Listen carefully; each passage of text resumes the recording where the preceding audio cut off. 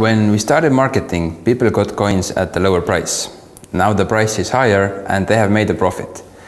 Now, there are people who are willing to sell their coins because the majority of people do not believe in crypto in long term. The reason for that is the massive fluctuation that has been in all of the coin prices over time. And this has not given people the confidence that crypto can and will be for long term. We are changing this. And I believe it is just a matter of time and educating people about cryptocurrency and how things will be in the future.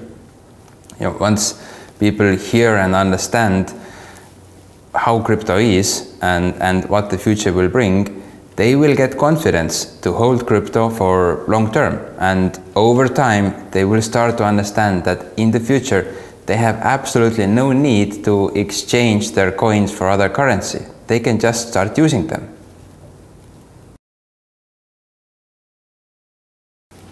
No, absolutely not.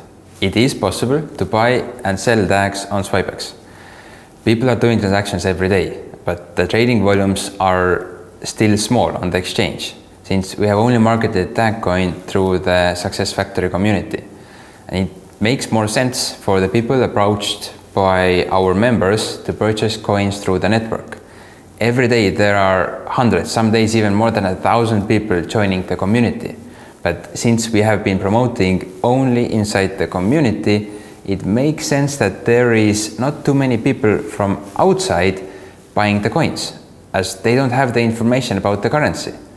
And for this reason, it is totally understandable that in this stage, there are not too many people buying coins through the exchange.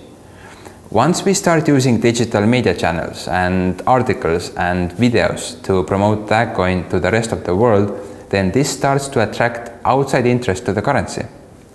And that is our next stage. This is how we can build up the outside demand as well.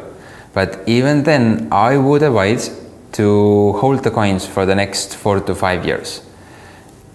You know, this world is far from being ready to use cryptocurrencies.